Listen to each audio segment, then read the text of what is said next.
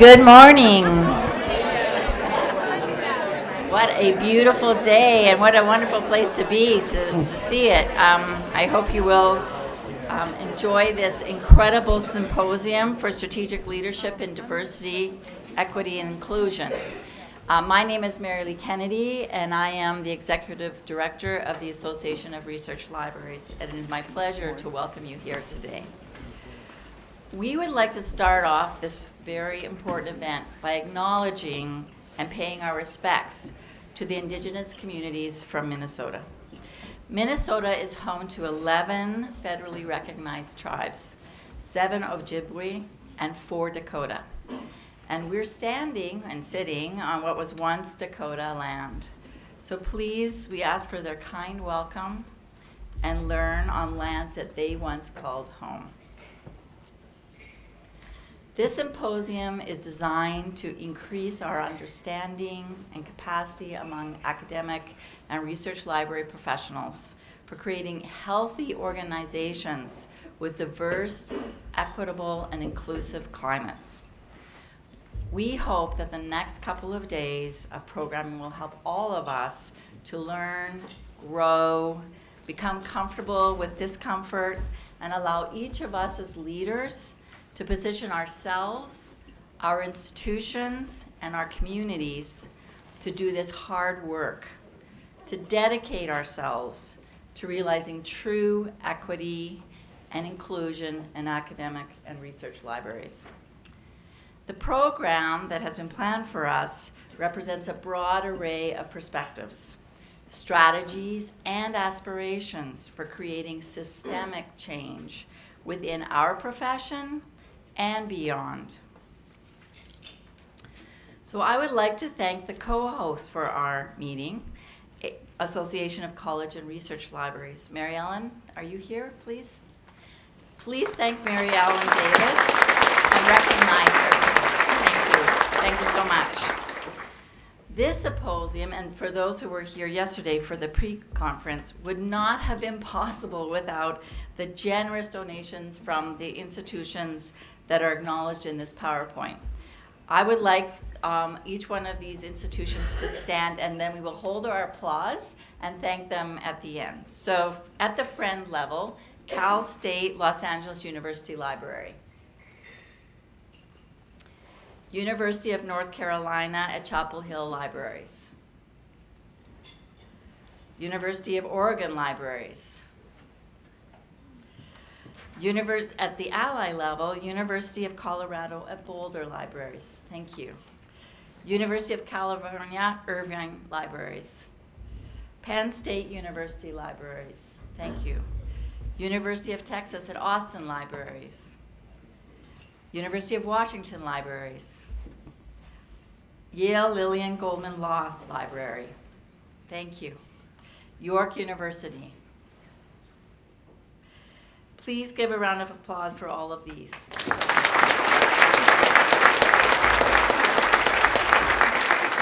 And one more generous group of people. At the champion level, University of Alberta Libraries. Cornell University Library. University of Florida George A. Smathers Libraries. University of Houston Libraries. Iowa State University Library. University of Minnesota libraries, MIT libraries, thank you, MIT libraries, OCLC, thank you, Texas A&M libraries, Virginia Tech University libraries, at the hero level, American University Library, the University of Iowa Libraries, the Ohio State University Libraries. I honestly think this is just a testimonial of the amazing support for this type of program. I just thank you all for this. Very, very generous of you to do this.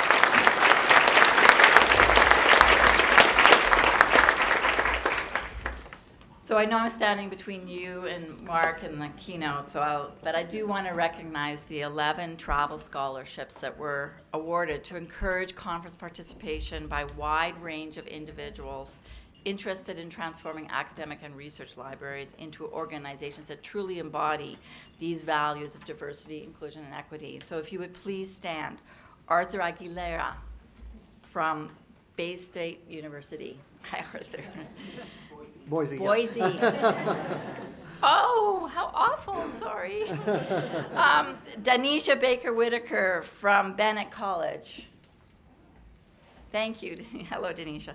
Mohammed Barre from Florida State University. Mohammed, you here? Thank you. Kevin Brown from the University of New Mexico. Hello, Kevin. Zaida Delgado, University of California, Riverside. Thank you. Monica Figueroa, the University of North Carolina at Chapel Hill. Federico Martinez Garcia, Jr., University of Colorado at Colorado Springs. There you are, thank you. Alice Minter, Towson University. She must be coming. Um, Alana Aiko Moore, University of California, San Diego. Ariana Santiago, University of Houston. Thank you. And Chandra Walker from Georgia College. Okay, thank you. Lastly, but certainly with increasing appreciation for what it takes to do this, I would like to thank the planning group for the week.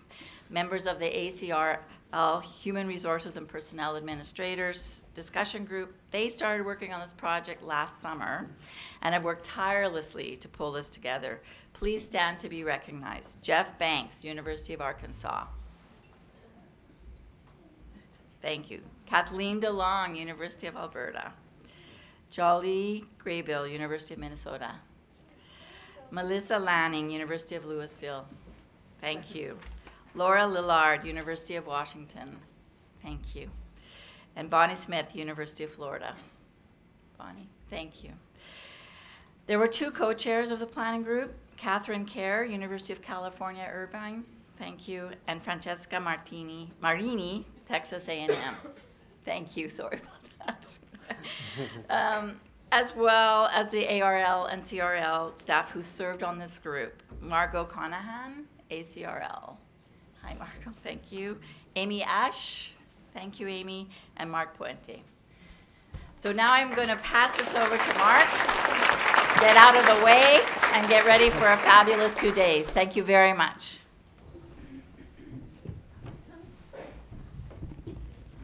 Thank you, Mary Lee. So I'm Mark Puente, the Director of Diversity and Leadership Programs for the Association of Research Libraries. We're delighted to have everyone here this morning. Uh, You may have noticed um, in the program, this in the program, but I need to bring this to your attention, that uh, photos may be taken as well as video uh, may be taken, will be taken during the uh, course of the program. If you wish to opt out of having your photo taken, uh, please add a green dot to your name tag. The green dots are at the registration table. Uh, So please, and, and, and let us know, and if you see someone uh, uh, your photo, uh, call me and I will take them down. Um, uh, So as we said, most sessions will be recorded. These recordings will be shared uh, with, with all of the attendees uh, after the symposium on our shared Google Drive space. Um, in the email communication that went out uh, with, to all of you, we have some copies, uh, probably very few left in hard copy at the registration table. Uh, but you will find also there the code of conduct that uh, the symposium planning group uh, created for this event. We hope uh, that everyone here will take some time to review that code of conduct and will think about uh, centering our minds and our behaviors uh, in such a way that creates a comfortable um, and inclusive and I hope generative learning environment uh, for everyone attending this event. Uh, in the event that anyone encounters behavior that uh, is exclusionary, inappropriate, or, uh, or threatening, please know that our program staff uh, uh, are here to help in whatever way appropriate. So please uh, familiarize yourself with that code of conduct so that you'll know who to contact in the unlikely event that uh, you experience or witness uh, behavior that is contrary to this code. So thank you for your attention to that. Uh, in case of emergency, uh, attendees can dial zero from any of the phones, and uh, there's, they're, they're scattered throughout in the meeting rooms, and you'll be connected to the Marquette Hotel operator. Uh, I hope everyone uh, here this morning will be attending the reception this evening. That's in the same space where uh, the breakfast seating area was. Uh, and so that begins at 5.30 following our program in the STARS room.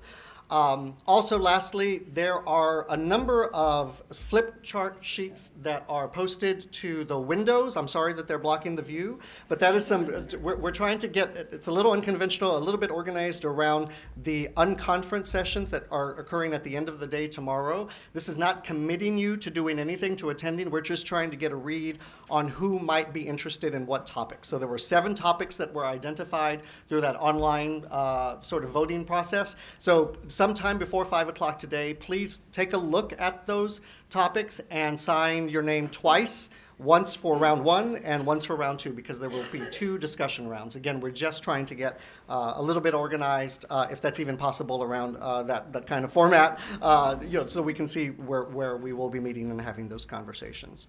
So I think that is all. Um, does everyone have a seat? Are we, are logistically, everyone has a seat who wants a seat?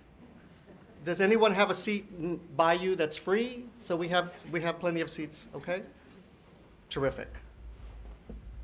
Great. So again, um, welcome, and at this time, I'm just going to turn the podium over to our, a member of our stellar planning group. Thanks again to all of you, but uh, Kathleen DeLong from the University of Alberta.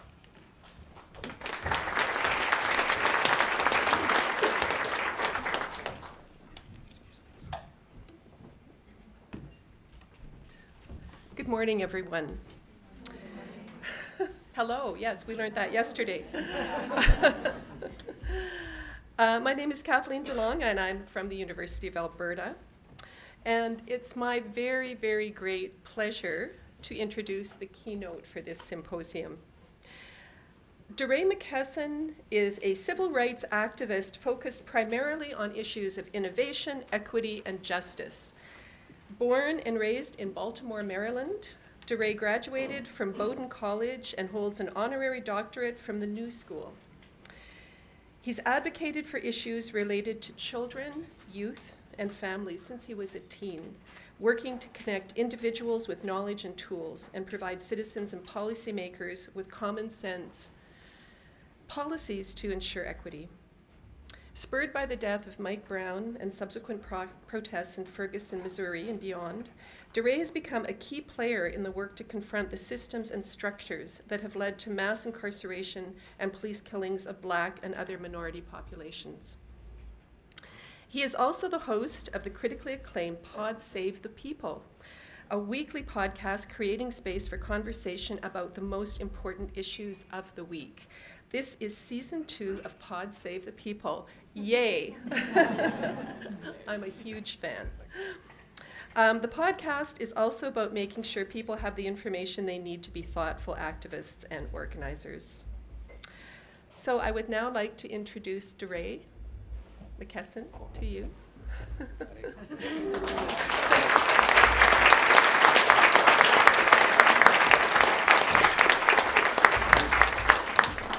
And as DeRay comes in, I would just like to say that as he usually begins his podcast, let's go.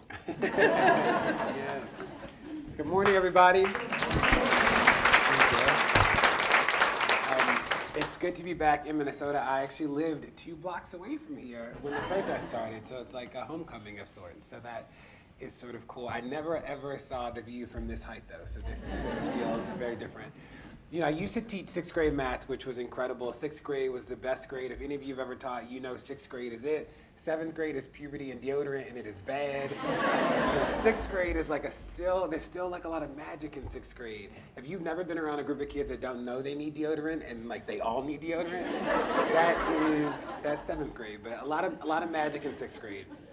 And I taught math, and I taught 60, 90, and 120 minute classes, which is a long time to teach an 11 year old anything, let alone math. And this one day, my students were like, Mr. McKesson, can I, can we go to gym early? And I'm like, absolutely. I had them first, second, third, fifth, and seventh period. They were tired of me. I was tired of them. The gym teacher is one of my best friends. So I'm like, you guys can go. So they go. And like 10 minutes later, they're back. And I'm like, hey. And, and they're like, hey, we're back. And I'm like, why are y'all back? Like, what happened? And what I realized that they were more in love with the idea of gym than the work of gym. and I say that because in this moment, I think that people are more in love with the idea of resistance than the work of resistance. And I've been trying to think about like how do we talk about the work in a way that makes sense, in a way that actually pushes us to have an impact and like think about how the world changes. I'm always reminded, especially when I come back to Minnesota, which is where I was when the protests began, that if you saw us in the street uh, marching in the beginning of the protest, it wasn't because we thought marching was a particularly cool thing to do or the most effective strategy. It was illegal to stand still in August, and August, September, and October 2014. That if we stood still for more than five seconds, we were arrested. And I never forget that. It keeps me grounded in the work because that was a history that we were told was like so far gone that like we saw in movies and, and then we lived it. And, and I always am reminded of that. But when we think about what the work looks like, uh, before I talk about that, I will say that the ideas are important too, that we know that the difference between diversity and inclusion matters, right? That those are not just words, that diversity is often about bodies, inclusion is about culture. You can recruit 20 more black students and have a racist campus you can recruit 20 more trans employees and still have a transphobic culture.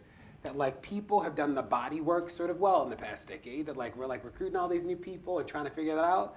The culture piece, the inclusion piece is the harder place to be. And there are a lot of companies that have affinity groups, and affinity groups are incredible. The Black Affinity Group, Gay Affinity Group, Affinity Groups for Life. I like affinity groups.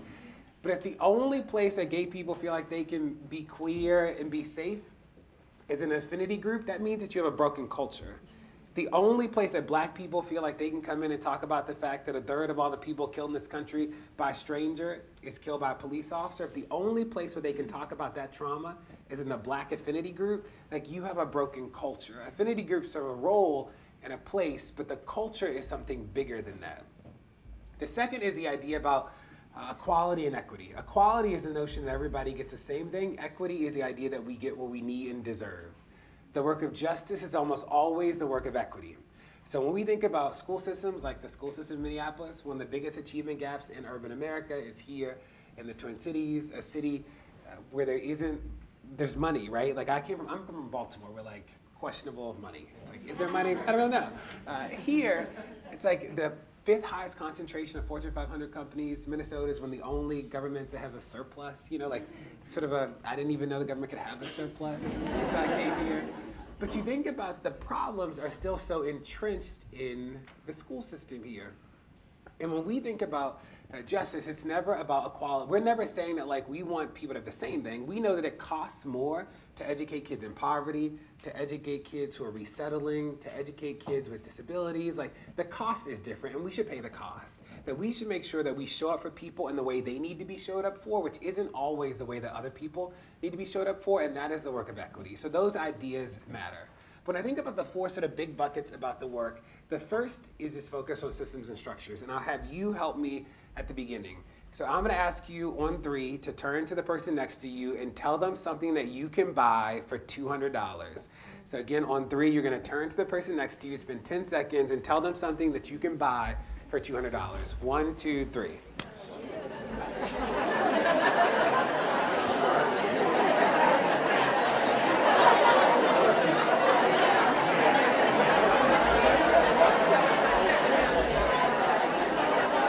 Okay, bring it back in five, four, three, two, bring it back in one, bring it back. Okay, now on three, what you're gonna do is to this to another person nearby, you're gonna tell them something that you can buy for $300, okay? So one, two, three.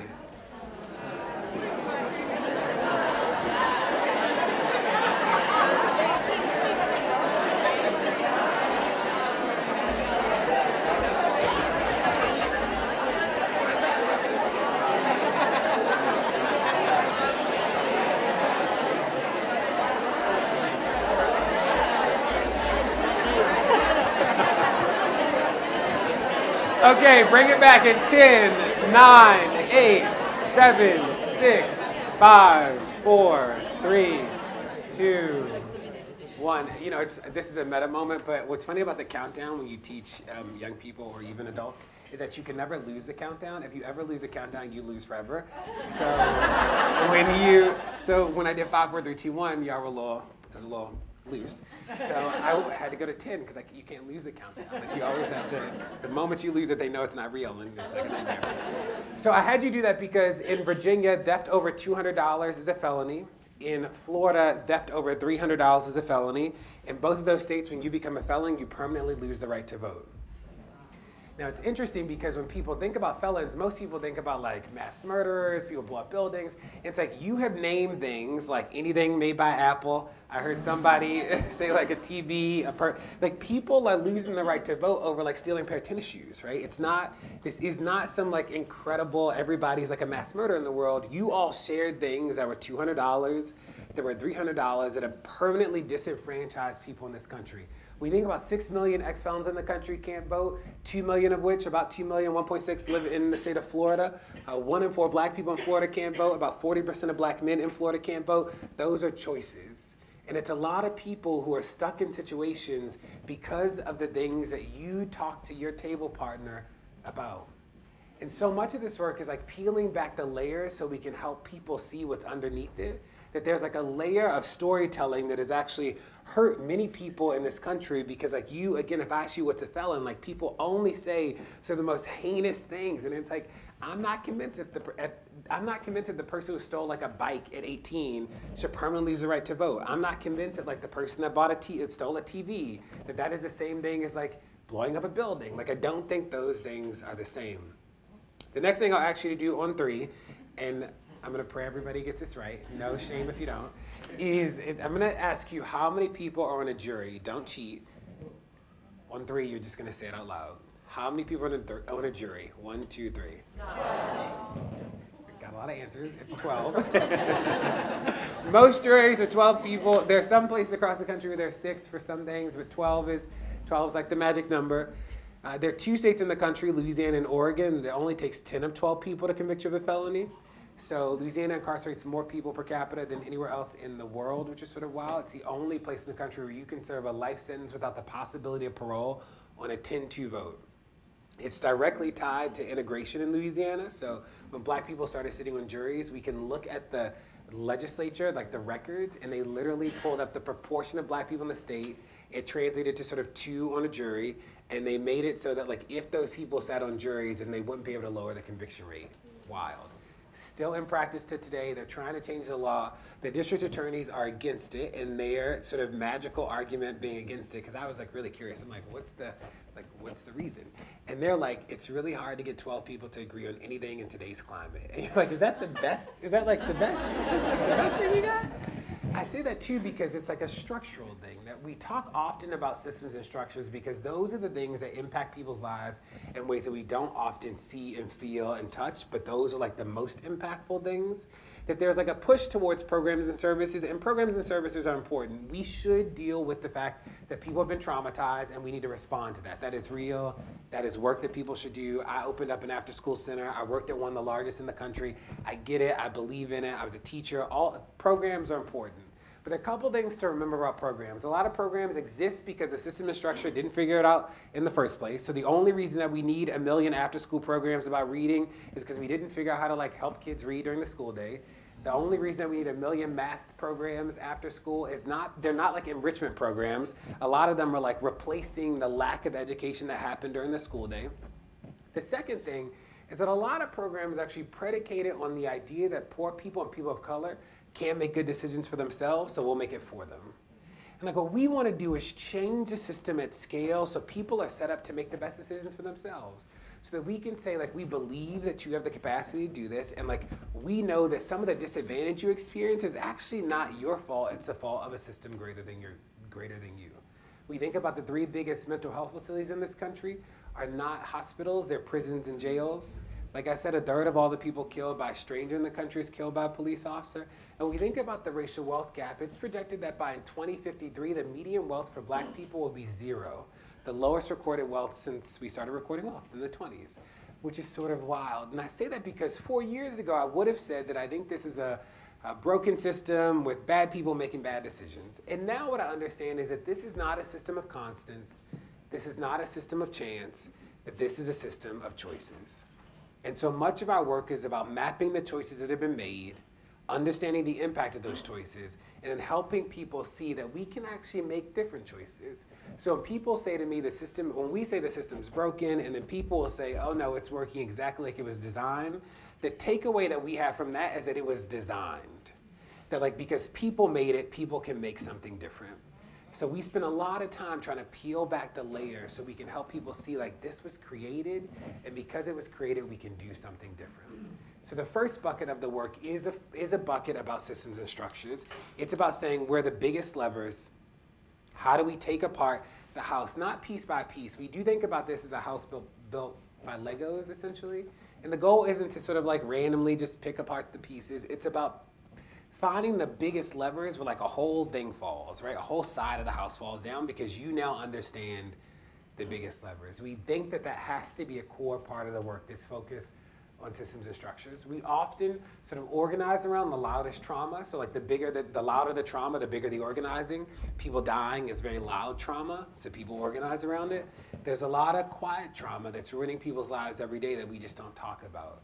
So you think about there are six states where if you get convicted of a, a drug felony, you lose the right to food stamps. Like that doesn't really make sense to me, but that is real and impacting people. The largest jail in the country, the Cook County Jail in Chicago, uh, they don't consider, Chicago actually doesn't consider public housing a house in many circumstances. So if you get released from jail, like before your court hearing, uh, on your own recognizance, and you live in public housing, they still code you homeless, so you act, they won't release you because you technically don't have a house.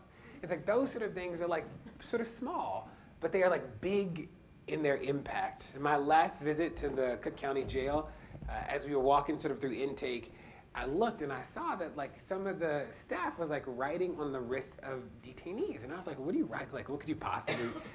like, I don't even know what you could write on people that made sense, right? Like, what are you writing on a sharpie with them? And that, that is how they, in 2018, that is how they ordered them to go before the bail judge. Like, you got like a one, you got like a two on your wrist. That's how you move them. And it's like, so I'm talking to the ward being like, hey, I think that's sort of dehumanizing and inhumane. And he's like, Durant, I didn't even know. And I'm like, uh?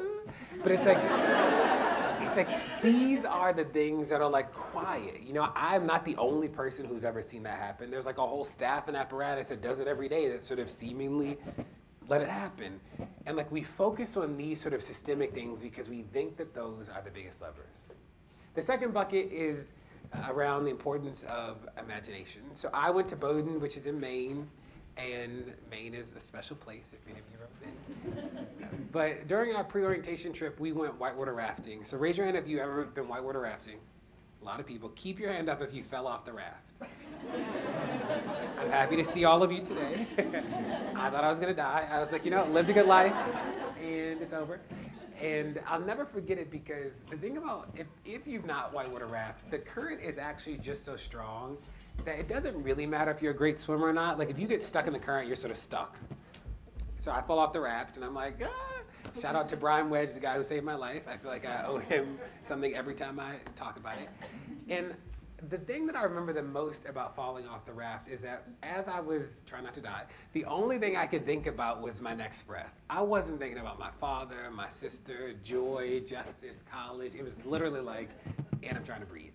And I think about that because that's one of the things that trauma does to us is that when we experience trauma, we get trapped in the present. And there are people who like their everyday is experiencing trauma, like some sort of like confrontation or proximity to trauma. And when you are that proximate to trauma, you're like trapped in the present. It's like a survival thing. You see what's in front of you and you like focus on it because that's the thing that's gonna get you to the next breath. And like that is what it, it's like a cycle. You're like trapped in the present, you're trapped in the trauma, and the hard thing about being trapped in the present is that you can't really imagine where you're trapped in the present. That like you lose all ability to see, think about a future, to think about like what could be different, because you're just trying to get back on the raft. Like that, you're just trying to like level back up. And the thing is, is that we'll never get free if we can't imagine. That it's hard to fight for things that you can't see. It's hard to fight for things that you like don't think are possible. And for so many of us, we've spent a lifetime looking at the constraints in front of us because we've needed to see the constraints so that we can like move on and get to the next day. But part of our work has to be to log the constraints, to name them, and then imagine a world without them. So when we think about the police, what we would say is that this is, a, you know, people think that the protesters are sort of against the police, and we're like, uh, not necessarily against the police, but I do think that we can live in a world where like this is not our response to conflict. That we believe that there will always be rules, there will always be people who break rules, and there will always need to be a set of consequences. Sort of we, that is sort of like a part of the deal with what it means to live in community. The question becomes like, who makes the consequences and who enforces them?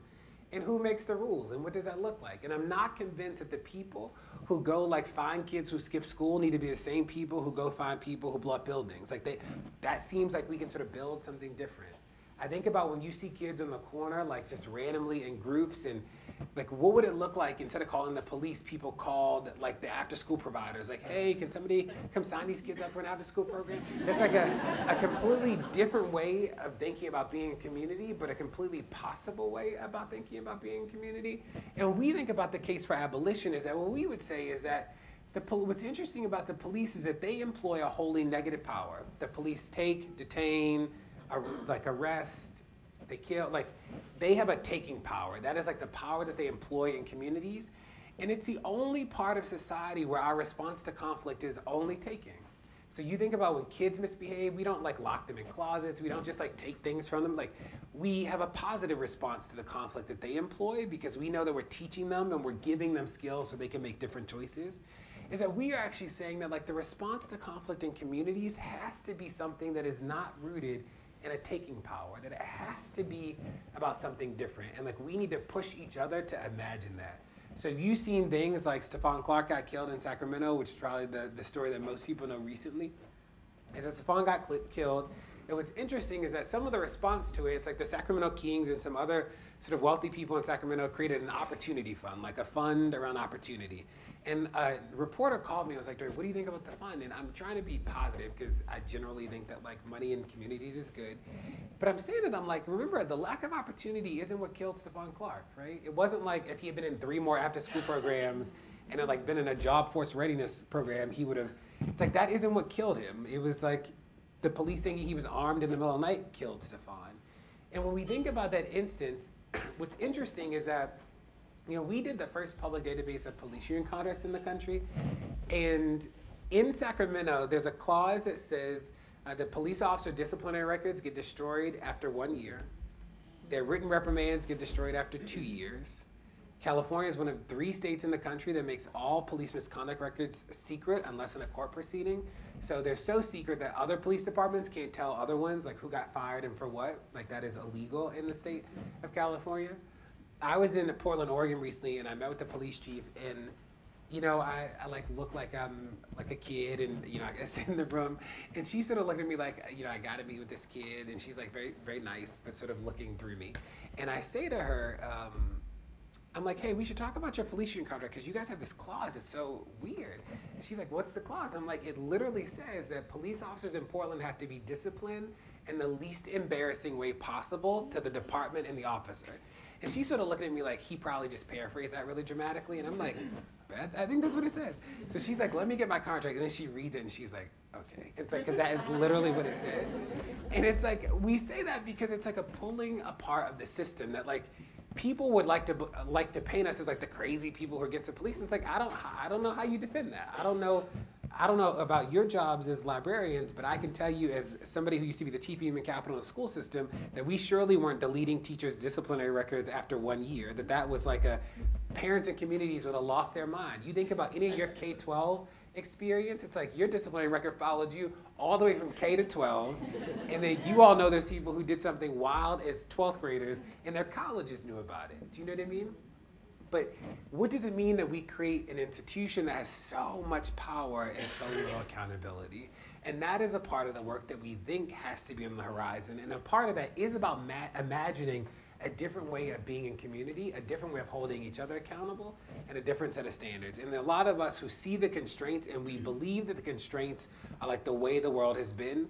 There's some of our best writers who sort of paint a world that says that God created like earth, man, and white supremacy. And we will never concede that that is sort of just a condition of the world. We want to say that like that is sort of where we are today, but we can build something different. We can make a different America and we can make a different world. Now, the third is about this conversation about power, about what it looks like, what it feels like, how we undo it, how we redo it. There are two ways that we can think about power. One is this idea of power over, and power over is like the power that we know the most. Power over is this idea that power is like a finite pizza pie with, uh, an with a finite pizza pie with an odd number of pizza slices. And some people always have more and some people have less. And that game is about making sure that you get as much so you're not being harmed. Power with is this conception of power that says that power is infinite, expansive, and it is most potent when it is shared. That is the power that we know very little of. And like what we're trying to do is we we're trying to like name the mentality of power over it, disrupt it so that we can like build a different way of being community that isn't a game of winners and losers, that isn't this zero sum sort of world, and doesn't create this cycle that says the only reason that you're not being bullied anymore is because you become the bully. Like we're trying to actually change the cycle so that like bullying in and of itself actually goes away and we build a different type of being in community. One of the interesting things about the way we think about whiteness is that we don't often understand the way that whiteness is about power. So when Baldwin says whiteness is a metaphor for power, what he's really saying is whiteness is a metaphor for power over, this idea of like domination, that we can actually build a different conception of power that is this understanding of power with. I tweeted not too long ago, watch whiteness work. I tweet it often. Uh, because whiteness is always sort of working in its own way. Most people think about whiteness as like lynching and enslavement, and like that makes sense, but that is not the totality of the way white supremacy and whiteness sort of works in our society. And I tweeted it, and this this guy in Hollywood emailed me, and he was like, "DeRay, I'm sort of disappointed in you because." Um, you said whiteness and you didn't say white supremacy or racism. And I was like, well, because I meant whiteness. and he was like, yeah, this is long email. And I was about to eat lunch and I was like, I just can't, I don't have time to send you back a long email. So I, I wrote back to him, like, send me your phone number, let's talk about it. He sends me the number, I call him, I don't know this guy. Uh, so we're on the phone and I'm trying to explain to him that like the fact that nude is the color of your skin and not mine is power, right? Like that is a choice, that is power.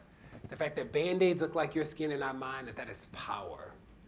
And he's sort of like, I don't get it. I'm like, okay. Uh, so we sort of do that for a little bit. And then I say to him, he works in Hollywood, and I say to him, like, remember the fact that all the characters we read in text are white until named other? Like that that is power. And he was like, I never thought about it. I, he's like, I read scripts all day and I just assume the characters are white until then. It's like, yeah, that's what power looks like, right? The fact that like white is normative and what it means to be human and that, that is baked into society, like that is a function of power. And part of our work is to help people see that power is always sort of moving in the world, that it's always manifesting. One of the things that we do in classrooms, when we sit in the back of classrooms observing teachers, is that we can literally just chart the negative to positive things that teachers say to students, and we can look at the way power works in the classroom, we can look at the way the discipline is gonna work, the way behavior works, literally just by charting and saying to teachers, you say three negative things for every one positive thing you say, and like the balance is off in the class.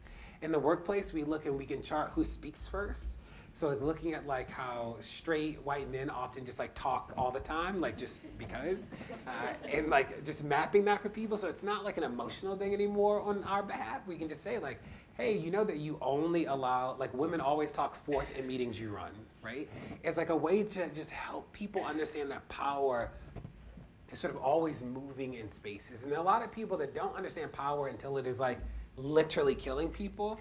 But what all of us who are in minority communities know is that like power is always sort of moving and you're always aware of like when you have it and when you don't and what that feels like and what it doesn't feel like. And part of our work is to like disrupt the way that power normally functions. I think about my role as a teacher. I taught sixth graders and sixth grade is, is amazing. And i'll never forget um, i didn't have there were two sort of big rules in my class. One was that there are no real rules and the second is that you can always choose your seat and you don't have to raise your hand to, to sort of move about the classroom. Like that was a big thing. And at the beginning, it was a nightmare. But by the end, what was great about it is I was trying to help them uh, understand the power over their own body, that it's like a big deal that the only time you can move in a classroom is when I tell you you can. That seems to me like too much power. Like, I don't, like you at some point need to learn how to manage your body and i don't think i'm teaching it teaching you well how to do that if like every moment you need to move you need my permission that's sort of wild so i'll like we'll figure this out and it was sort of interesting to see young people like learn how to use that power in a way that made sense. And like they did it. And it was like definitely a thing that we had to like learn and teach each other how to do.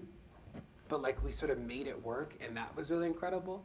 The other thing i'll say is i remember i was here in, in minneapolis. I was a senior director of human capital so i managed all of the hiring for all staff including our teachers. And when i first got here we were getting all these discrimination complaints that i think were probably right And so I was like, we're gonna interview every teacher who applies. Like anybody who applies to be a teacher, everybody gets an interview. Like nobody else say they were denied an interview because of anything, because everybody gets one. And we started to ask a set of questions. And the third question we designed then was, do you think that students from high need communities can achieve the same grade level standards as students from wealthy communities, wealthier communities?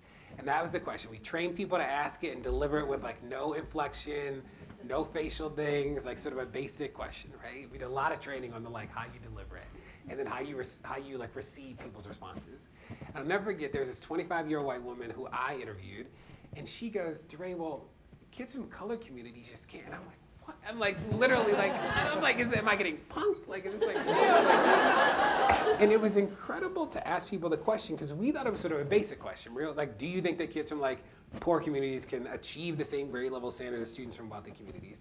And what was interesting, it was about 30% of the people we interviewed just said no, some, some version of no. They were either like the parents care more, or like, you know, they just have more access, or like there're just some deficiencies in communities.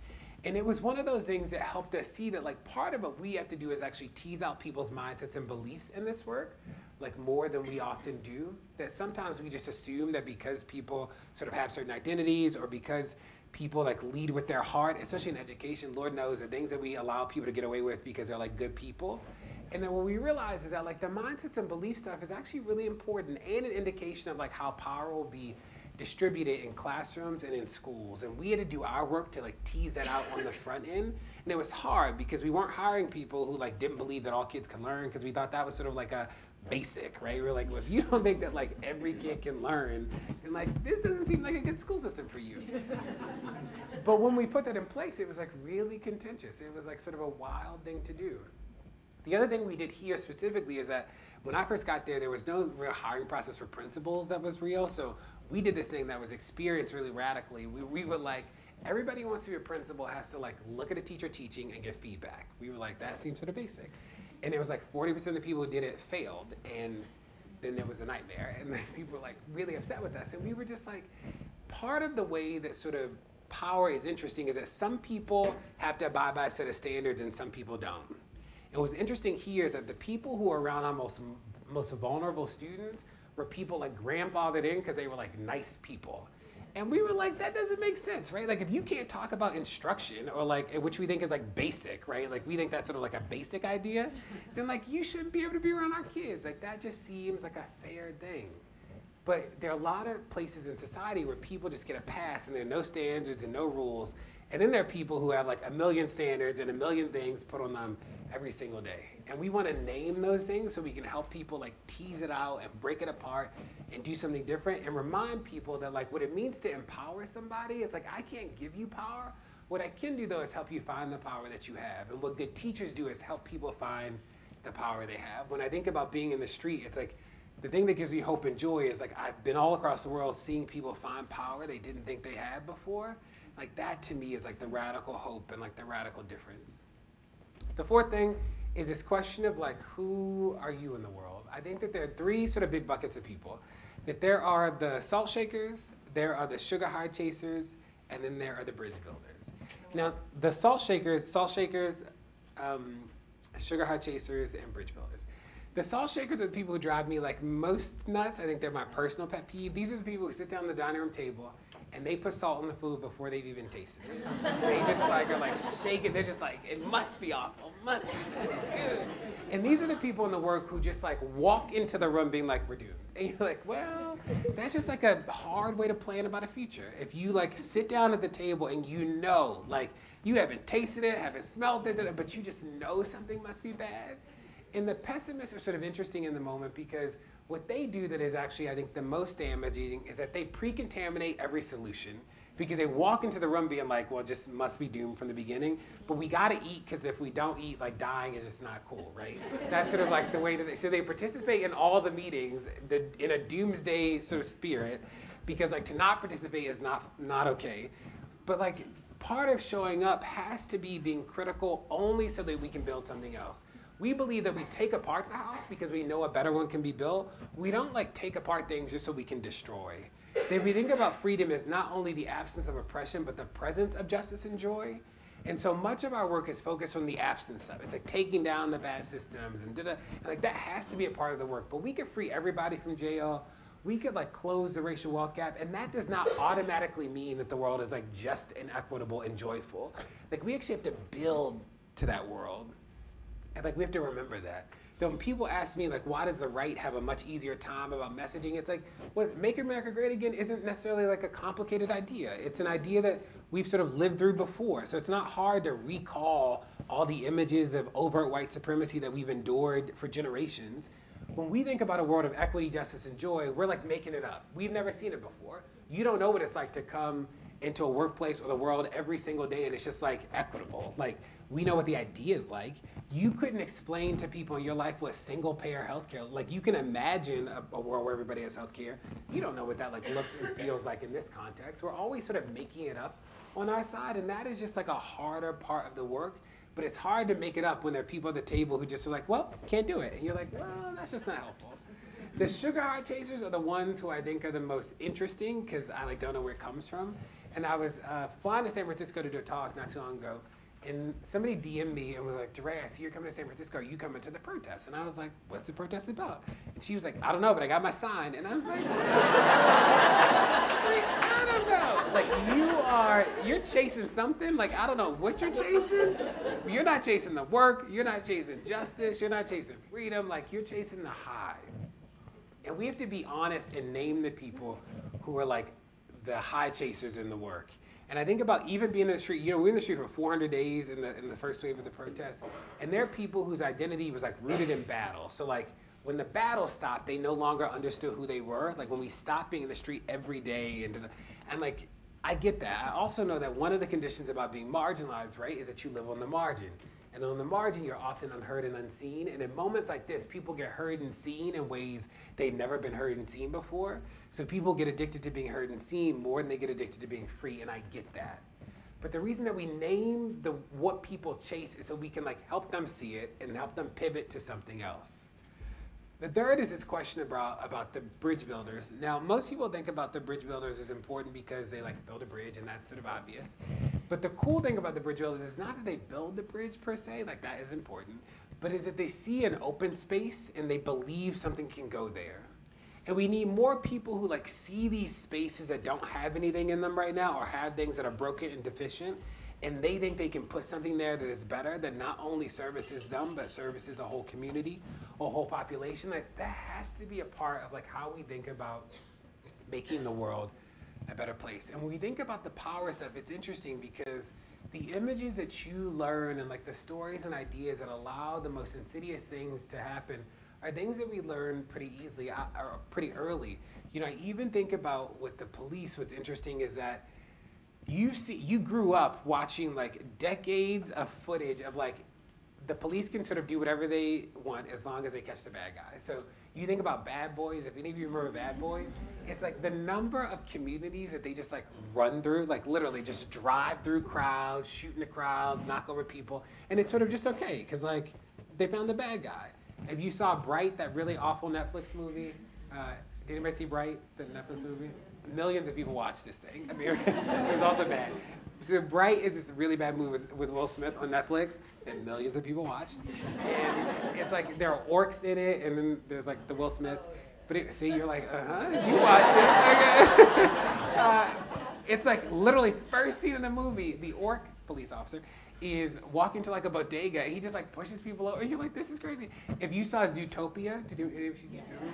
So you remember Zootopia, there's like a part in Zootopia where like the um, the smaller police officer, I don't remember what animal she was. She was like a, a bunny, right? Thank you, a bunny. She's like a what? Judy. Judy. Thank you. Judy's like running trying to get the bad guy, and she literally, they're just like running through neighborhoods, like people like flying out of the way, and like we have been brought up on this idea that like at whatever cost, it's sort of okay, right? Like at whatever cost, even in things like Zootopia, right? Which is like a children's movie. And so, so the ideas that you find that like actually create space for these things are like embedded all across society and we have to uproot those. And I think about the bridge builders are the people who like see those things. They see it and are like, okay, got it, got to build something better. Now I'll leave with this question uh, that I heard in a sermon. I was moderating a panel between two people you probably don't know. One is Jerry Lorenzo, the designer for Fear of God, which is a fashion label. The second you know of him, uh, Pastor Rich. He is the pastor that married Kim and our beloved Kanye. Kanye, what do we do about Kanye? but I was listening to this sermon uh, by Pastor Rich in preparation for this moderating thing, and he asked this question that I thought was so powerful. He said, If God answered all your prayers, would it just change you or would it change the world? And I think so many of us, we don't understand that the work of justice is always about having a prayer and a dream that changes the world. Thank you.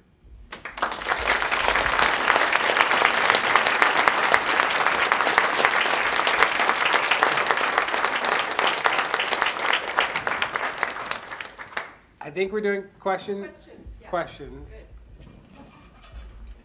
I think they're mics. The room is tight enough though that I think you could just stay in, but I don't know. I'm not in charge. I'm just here. Okay, we have mics, and I don't want to be first to the mic. I'll let someone else.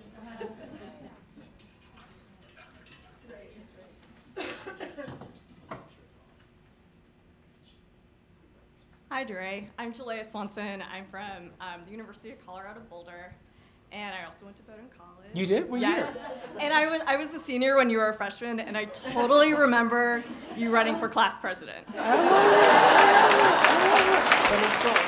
Was it your breakfast when I? Do you remember that? I think you might have been the first year when I walked away from the podium. Was that your breakfast? No, you would remember. It's okay. Yeah. I was giving this speech and I just like what I just had a really tough time in the college that year. I was a two-term student body president, three-term class president, and I literally I'm at the podium and I start talking and I'm just like. I don't think I can do this, and I literally walk off. So I, every time I see somebody from that class, I'm like, "Hey, sorry." Yeah, so my question is sort of about um, all of us here working in higher education and the concept of bridge builders. So, how can we, as people working in higher education, sort of foster the next generation of bridge builders? Good question. I think when I think about my advice to students is always like, you need to make sure that you leave that institution a better reader, writer, and thinker than you were when you came in. That if the only thing you've done in four years is fight the institution, you got a bad deal. Like that just isn't a good deal. And there are a lot of people I meet who like they spend four years fighting, so they got like a dope statue made, they changed some cool policy, and like they get out and like can't rewrite and think, and you're like, that was you got a short end of the stick. And I think what the best adults do in higher education is that they help create this space where like young people not only learn information but skills, right? Like you got here because you have a set of skills that like are, are real things. Like you you like learn a set of skills and a lot of activists and like young people who believe in a better world who either come out with like a lot of information and no skill like they like can't they don't really know how to research they don't really know how to sort of take apart a primary document or like put something like they those are things are skills. And like people you'd be shocked maybe you're not shocked because you work in education. I'm shocked. I'm like what did you you were there for four years and this is all you got? Uh, so i think that the best adults in higher education like push students beyond the place that they think they can be with the focus to like skills. And what is interesting about low income communities and with people of color is that like we often sort of do the like, well, love is a skill. You know, I can't tell you enough. I can't tell you how many after school programs I've been to where like it's really like love is what they're teaching 90% and then there's something else, right? So it's like basketball and love and like and like white kids are going to like skiing and science, right? And black kids are in like love and love. And you're like, that is like if love was the answer, there, there's a lot of love in the black community already. Like people, like if love could get people out of poverty, like it'd be over. But there's sort of this idea that like, oh, we need to keep these kids safe and and like it's actually like an act of charity and it's not an act that you believe that they can do something. Like it's actually a manifestation of low expectations is how it actually translates to not push people and hold them to high standards and just like believe that they can do beautiful things.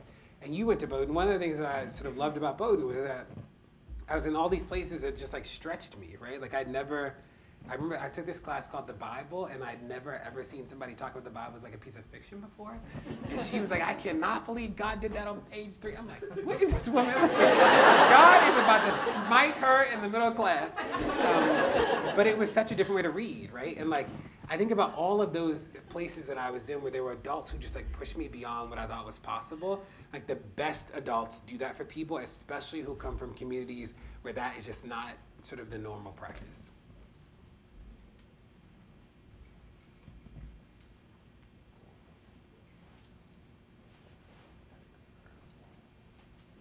Hello. I just met you. Um, I was wondering, you're, you're doing difficult work and um, it's not going to come to an end for a while. Um, I was just wondering if you would talk to us about how you deal with self-care and how um, you deal with the emotional labor of activism. Um, and also I was wondering if Clint got his shoes. Uh, I love Clint. I love that you listen to the podcast. Um, so it's funny. I, you know, Baldwin has this great quote. I'm writing a book, which is killing me, and Baldwin, I, this quote isn't it, but Baldwin has this great quote where he says, "The impossible is the least that we can demand," and I love that because I'm reminded that like I think it can actually change in our lifetime. I, I don't think this work has to be like a 10 generations work. That if they can rewrite the tax code on the back of napkins and paper towels, then like we can actually fix all the other stuff quickly too. That it's never a matter of like, are there resources? That Trump just gave 700 billion dollars to the military. It would take 125 billion to take every single person out of poverty. It's like not a matter of like resources. It's not a matter of can we. It's always a matter of will. And the question for us as organizers is like, can we tell the story in a way that like helps more people believe that this is like possible right now?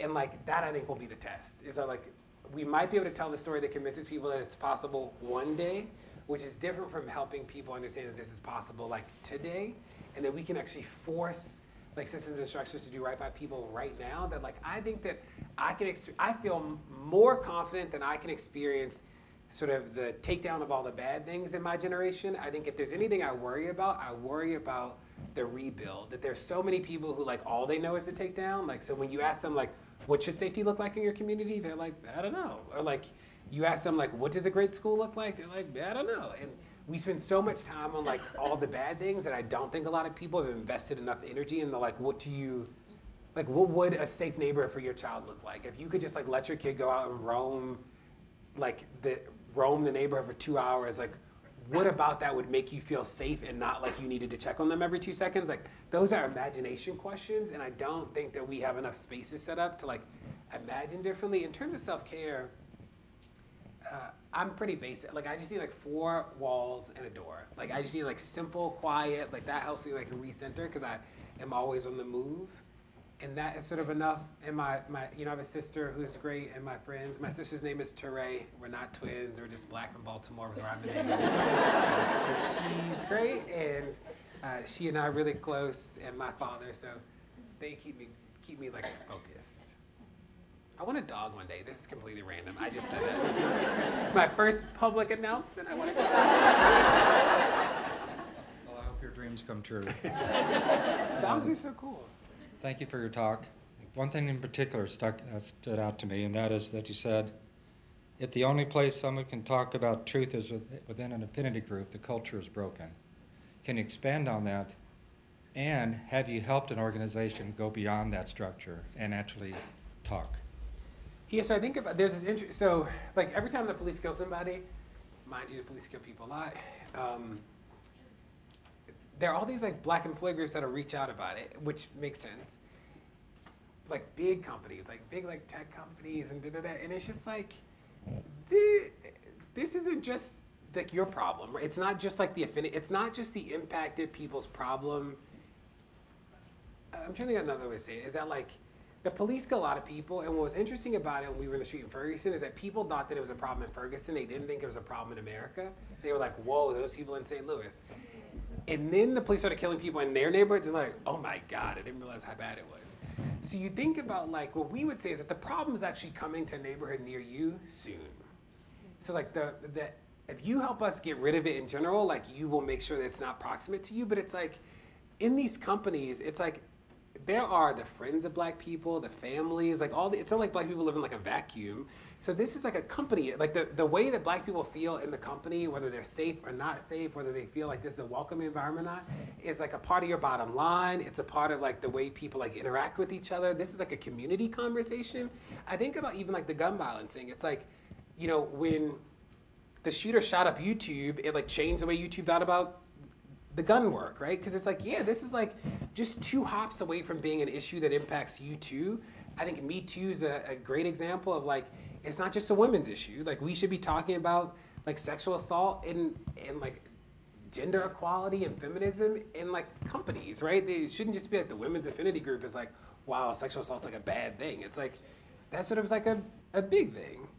And there are a lot of places that I think people get nervous. I, I think that the inclination to put in affinity groups comes from like people's nervousness. They're like, well, I don't know how to have the conversation. I don't know how to participate in the conversation. So I'm gonna like let the people most impacted sort of lead it.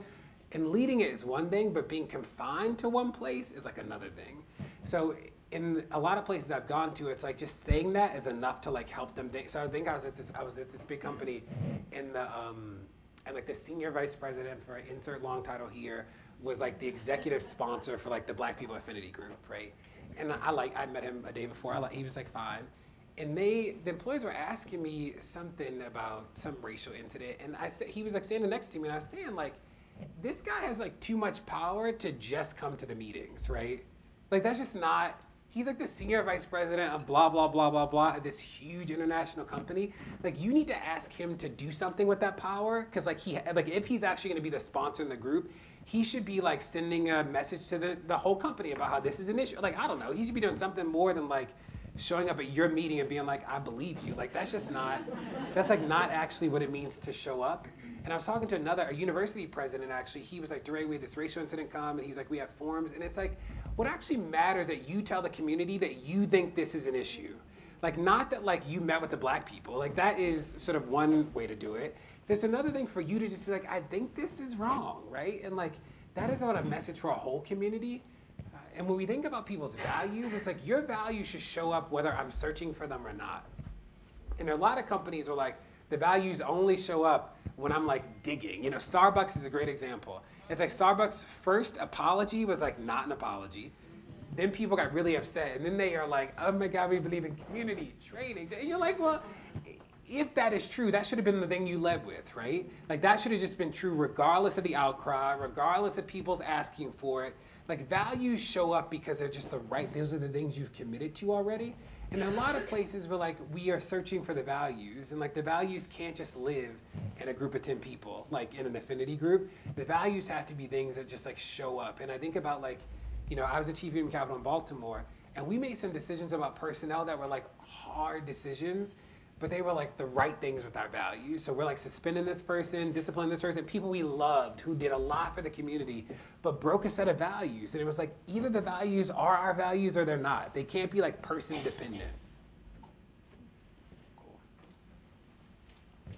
Hi, Cynthia Henderson from the University of Southern California, the other USC. And I'm still processing a lot of the things that you said, particularly about the statistics about the police and their um, you know, history of conflict and involvement, but I'll be looking that up. But anyway, I had a question, two questions. How do we help people find their power? And the second one was, how do we move people from being a salt shaker to a bridge builder? Yeah, I think that the how do we find people is interesting is that some of it is as simple as like believing it. So I think about with young people, it's literally like there's so many classes at all ages with people where like we just don't validate the stories they bring to the classroom. We sort of like only validate the stories that are in the classroom. So if I asked a group of 11 year olds right now, have you experienced racism? They probably look at me and laugh, right? Because they're just like, I don't know what you mean. But if I said, do you think you've ever been treated differently because of the color of your skin? They're like, yes, right? And that is a like, that is my work to help like validate the way they think about the world and, and the way they come to the classroom as like a real thing. Like that is real, the way you did it, and then using that experience to like highlight a bigger truth as opposed to me being like if you don't if you don't have the language of racism then you don't get it. And if you and that's like actually a lot of communities we're in are like if you don't get it this way then it's not real. And it's like some of what we have to do is say like that was the your life is real right? Like that's like a real thing. And like creating space for that is like huge. And even if people don't communicate that it's huge it is huge the second is like living in a little bit of disbelief. So like one of the ways systems and structures work is that they are designed to make you think you don't, you can't make an impact. So when I was, at, and most of you who work in systems, all of you, they, I think have experience with this, is that when I was the chief human capital, I was responsible for hiring all teachers in Baltimore uh, and in Minneapolis. And la- last year, I opened schools last year in Baltimore. We had a one, one classroom in the school that had 40 kids in kindergarten, a big class, which is like too big for kindergarten. So we get an email from a parent to the superintendent. It's like, hey, superintendent Santelises, um, my kid's in a class that has all these kids in it, blah, blah, blah. Can you do something about it? She sends it to me because I'm in charge of our hiring. She's like, Derek, you do something? Mind you, 50 people report to me. We have 11,000 staff members. It's a $1.3 billion organization. I have staff that sort of represent all the schools, all the principals have my cell phone number. Like, this could have gotten to me a million ways, but it got to me through this random parent, right? So because this one parent emailed the superintendent, Sonja, the superintendent emails me, I call her and I'm like, I need a little bit of money. Like, I can do something, but like, I can't afford it. Can you help me pay for it? She's like, cool, got you. We split the class, and the next day, like, all because it's one random parent, right? But the system is not designed for me to loop back with her and be like, hey, thanks for emailing us. Because, like, selfishly, we can't do, I can't deal with a thousand emails from parents. Like, I just don't have time to do that, right? But she mattered. And, like, she'll never know that the only reason it changed, like, the trajectory of her kids' learning experience that year was, like, her sending us an email, you know? And there are a lot of people who, like, just don't believe that that is, like, a way to make it, they just don't, you've never seen it, you know? So some of it is, like, living in disbelief and, like, doing the right thing anyway, or, like, pushing and, because it's like the right thing. Your second question was, give me a reminder. So how do you move from being? Oh, the salt shaker to something else. So the salt shakers, I think, are people who are like, I've tried, it didn't work. I, I've like invested before, it didn't work. Like, I think that the salt shaking comes from a not bad place necessarily. I think that when it gets bad is when people are like, I'm, the, I'm telling the truth and you're delusional. That's sort of one of the ways it shows up. Uh, another way that it shows up is this idea that like, I'm actually the most honest because I'm the most, that all I do is critique, and because I know how to tear things apart, like that makes me honest, right? And what we would say is that like the critique only matters because you can build something else. It doesn't, the goal isn't to like tear apart society and like leave it torn apart. The goal is to like tear it apart so we can build something really cool and that like we need to name that. So like the way that I've done it is like pushing all the people who are like most pessimistic to be like, hey, what can we build? Like just literally like forcing people into this build conversation. Like, okay, I get it, I get it's broken. How would you fix it? And sort of just like sitting in that and like helping people start to like exercise that muscle, even if it feels like ridiculous and crazy. Like that's really important. I think. First, thank you for your comments. I think they were really helpful. But I come with a heavy heart, given what happened to the two native students at Colorado State University, and given what happened to the students who were pushed off at graduation. And, um, and I say that because so often this work is motivated by a crisis. And my question is, do you have any thoughts on how we can make this work sustainable? Because suddenly there's this flurry of activity on these campuses when there's a crisis, and we act like we're starting from ground zero, like nothing has been done. I mean, how do we build on that? And, uh, and maybe you, you know, so that's just the question that I, and I, I hope to address it tomorrow as well. Thank you. Yeah, I think it's the right question. One of the things that I'm interested in is like, how do we start to talk about race, and especially the history of race, uh, in like normal tones and, and like less, like the facts are dramatic, so I don't need to be dramatic, right? And I think about, I was at this event and I was wearing this outfit that, um, that had facts on it, and one of the facts was that white high school dropouts have more wealth than all black college graduates, which is true. And this guy comes up to me and he's like, DeRay, is that true? And I'm like, yeah, it's true. And he's like, I don't believe it. I'm like, okay, like I don't even know. Like, don't okay. So we sort of get through that piece and he says to me, um, so I'm saying, you know, he says to me, DeRay, well, the, the reason that white people have so much wealth is because there are more of us. Like the, the government, just like a law of distribution, right? And I say to him, like, the only reason there are more of you is because you killed half the people and enslaved the other half, right? It's not like a, it's not like they're naturally more of you. Like you, you killed everybody, right? But it, what was interesting about that exchange is that like I delivered it like just like that. I was like, yeah, but it's because you kill half the people, and it's like real basic, right? And it was one of those things I could see him squirming because he was ready to dismiss it as passion, but I was like just real chill about it. And I I start there only because I think that some of the ways that we talk about the worst parts of the history, we do it in a way that like I don't think conveys just how like real it was, how crazy it was, and how persistent it was and how like damaging. It's just like a nor like that happened, and sort of forcing people to reckon with the like the fact of it and not like my delivery. And I think that so much of the pushback that I've seen people deliver is actually like to the or so much of the pushback that I've seen people sort of push is like to the delivery of the fact and not like the content of the fact. And I think about, so I think that that is like really important on college campuses and everywhere to just be like, hey, like when people talk to me about the wealth gap, it's like we gave white people wealth. We did. We like gave white people to work hard. They didn't have to be all sm- small business owners. Like we just gave them 1% housing loans. We gave them free education. Like, but when we think about people of color, literally it's like small business. Everybody has to be a small business owner. Everybody has to be the most motivated. It's like lazy black people should eat lazy black people should have water, right? Like those things are sort of real, but when we talk about it in terms of whiteness, it's like we just gloss over just how we did it for all of them in a way that is like really sort of wild when you think about it at scale. In terms of these incidents, I think that I'm hopeful that the public pressure from them has like created more conversation. I don't know if you saw that another person got beat up in a Waffle House by the police yesterday, which is like crazy. Uh, so I don't know what's going on at Waffle Houses, but I'm hopeful that the public conversation has like led to it, has led to like more examination and exploration. I'm interested to see if we can organize in a way that like shuts down the economic power of places like that. And the last thing about how do we not recreate the wheel? I think some of it is people feel like if the wheel worked so great before that then like we wouldn't be here, right? So people feel like we should at least be open to updating it. And the second is is that, and I'll say this somebody who is steeped in this work now every day, is that sometimes it's hard to find out the work that's been done before because people keep it so close to themselves because they want to be the only conduit for the work. And there are a lot of people who are just over that, right? That like, I'm down to organize with you, but I'm not down to like be forced to do it in this one way and, and not be open to talk about how we could update it or change it. And there are a lot of people who sort of employ this, if you don't do it with me or like me, then you're not real. And I think there's a generation of people who are like done with that. I think these are gonna be the last two because we're at time. Thanks so much. Um, I'm curious about how you, what's your strategy for dealing with the backlash? So we had, you know, Obama for eight years. I was living in the South at the time. You know, none of my white friends would ever talk about politics. You know, it just you just didn't. And then I moved, thank God, to New York. and of course, all my white friends voted for Trump.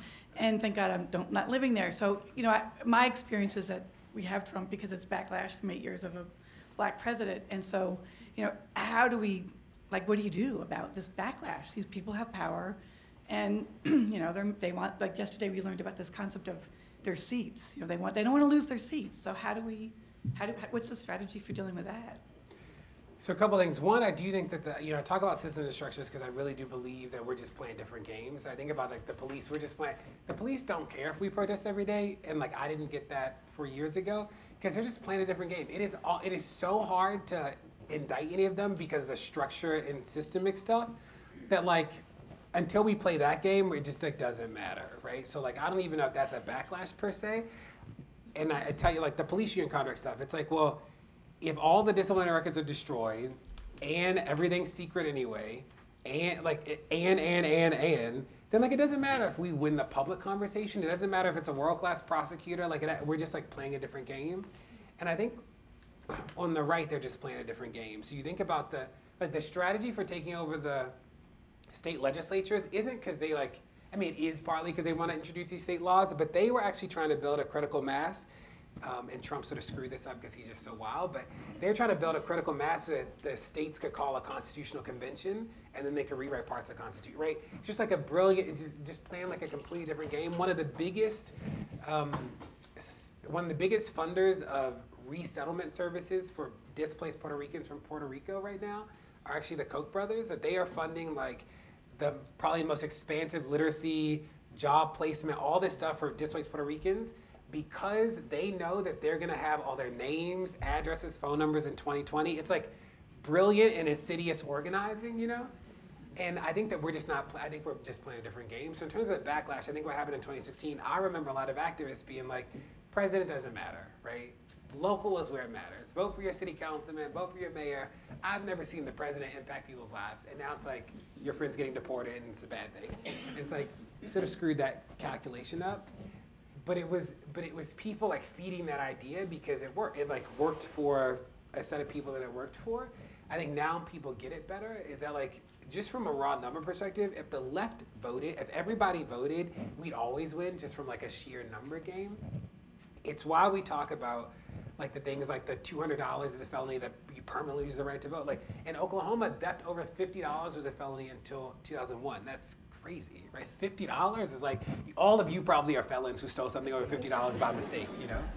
And it's like I think that the I think the backlash is not actually just like an emotional thing. I think it is the culmination of playing a different game. And I think that what we see with Trump is like they're just playing the different. We didn't even know the government could move this quick before because like it's never moved that quick, you know.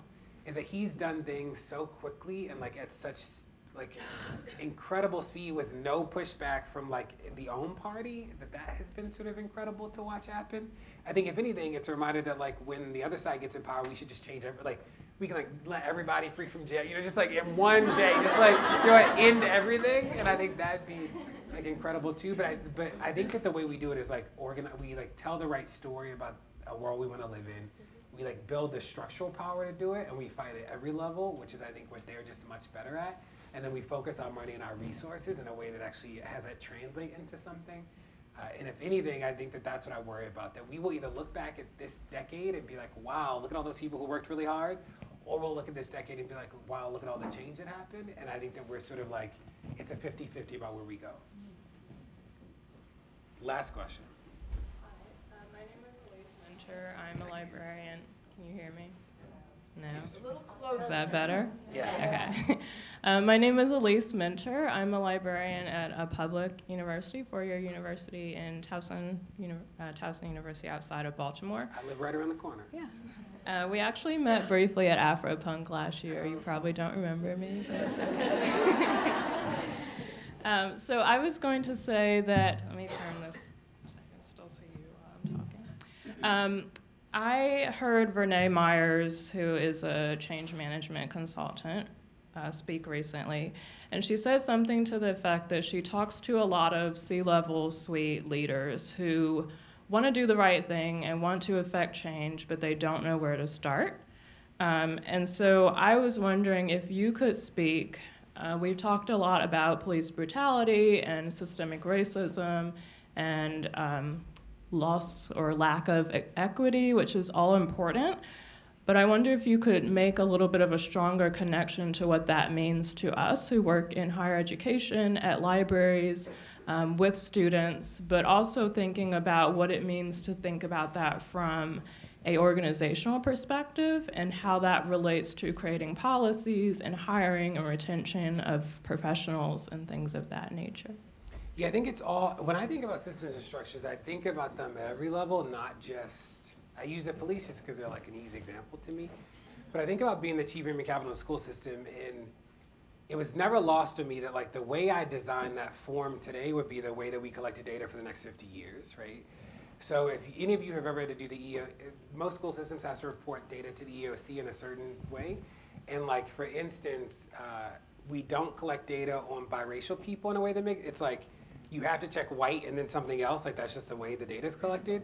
So people would ask us like, what's the breakdown of whatever? And it's like, well, I can tell you the number of people who checked like more than two races is how we collected in Baltimore. I can't tell you anything else. So like, what about the number? Of, like, and Latinos have to check more than two races. Like that's what the the box is literally called, more than two races. And it's like, that actually that fundamentally changes the way that we make decisions in the district because we have no data on Latino employees. That we just like doesn't exist, right? And that's actually like a system level decision that is about equity and race and justice that like doesn't look like it's about equity, race, and justice.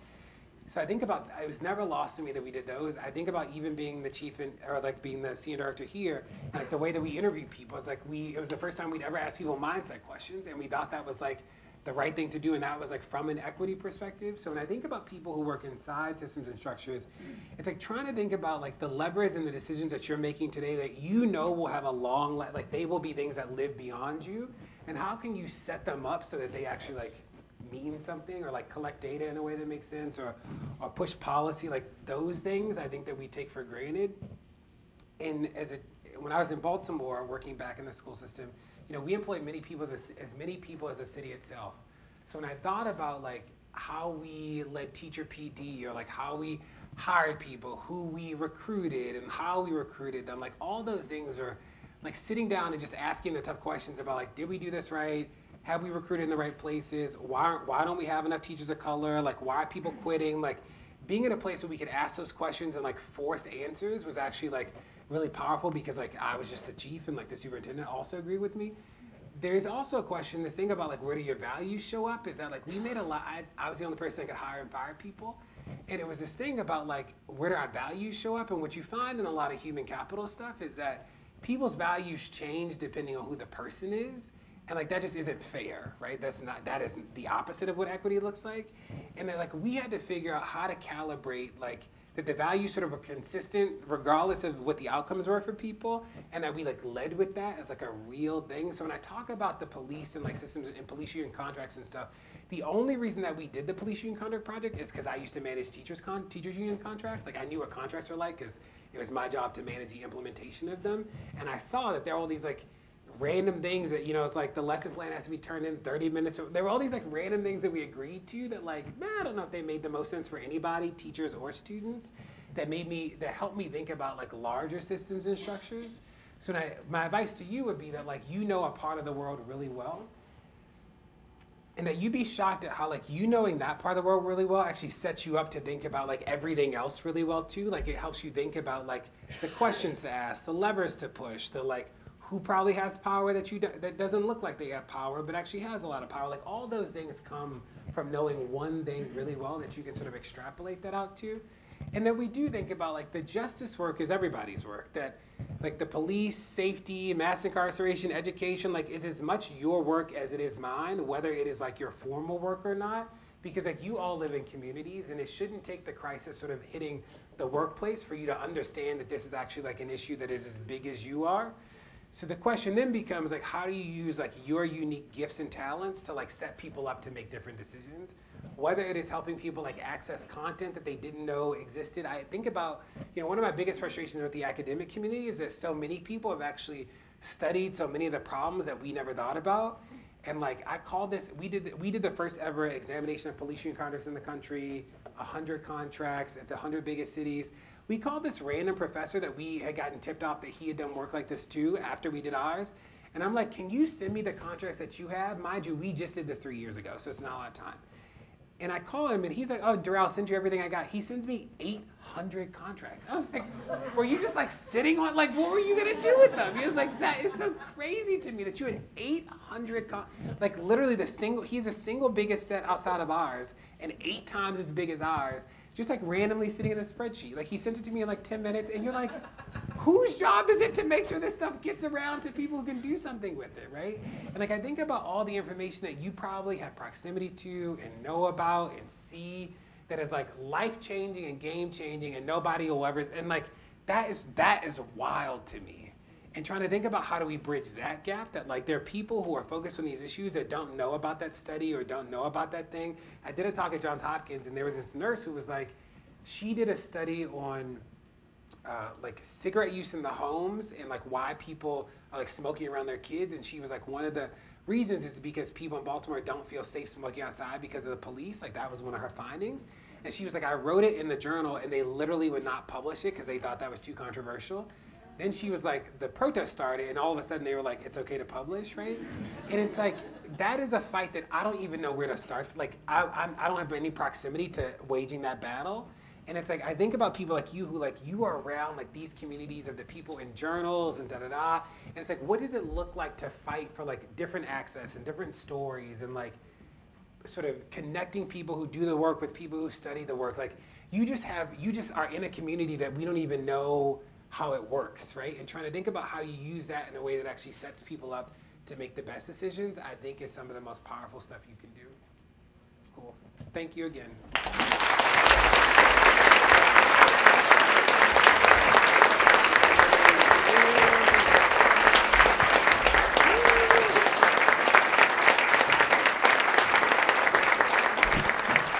DeRay, thank you. thank you very much. Um, how many of you know Crooked Media and DeRay's podcast, Pod Save the People? Oh, wow. There's quite a few people in this room. So, a shout out to Pod Save the People. I have to tell you that it is one of my absolute favorite podcasts. And if you see me with my, my earbuds in, I'm, you know, I'm usually listening. I've, I've usually got DeRay's voice in my ear. Um, there are um, uh, a number of podcasts of his that I actually go back and listen to every now and then.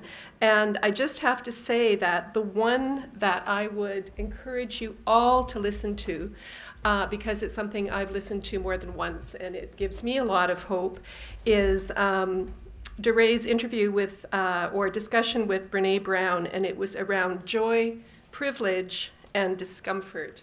And it's something that um, we all have to think about in our lives the joy that we need and the joy that we deserve. So check out that podcast. And thank you again to DeRay. And DeRay, I hope that in, you know, when you're thinking about future strategies, bridge builders, um, that you think about librarians uh, because we are important to, to your struggle and to what you are trying to achieve. Thank you very much, everyone. And um, I guess we're going to have to say goodbye to DeRay.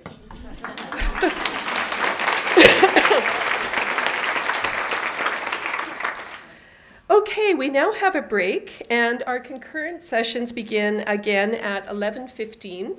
Um, we are in the Galaxy Room, and here in the Galaxy Room, we are going to be um, in the session "Where Do You Work? Rooting Responsibility in Land." Um, and the Creating a Residence program, the ACRL Diversity Alliance, is in the Universe Room. So head there after the break if that's what you're interested in, uh, in hearing more about. Thank you very much.